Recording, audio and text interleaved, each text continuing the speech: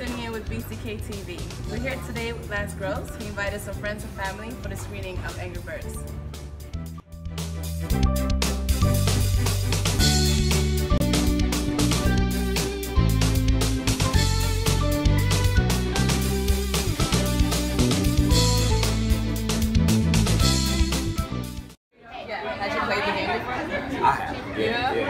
Yeah, yeah. To be addicted to it. Yeah, yeah, it really is. So, a couple of questions about um, your daughter, Berkeley.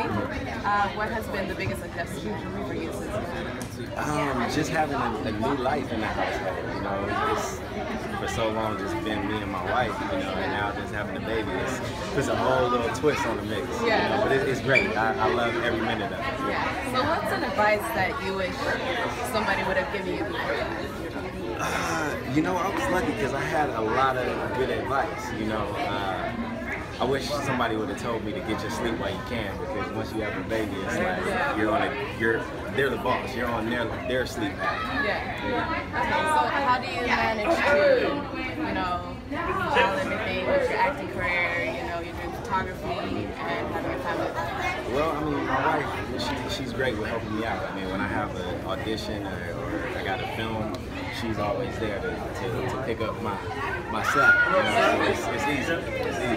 Do you have any like projects coming out? Uh, yeah, well, I have a film called Deuces coming out in the fall. It's starring myself, and Larenz Tate, Meagan Good. Also, I'm currently on Sleepy Hollow. We just got picked up for a fourth season, so Oh, it's exciting. Thank you. Thank you. And what was the name of it? Uh, Deuces.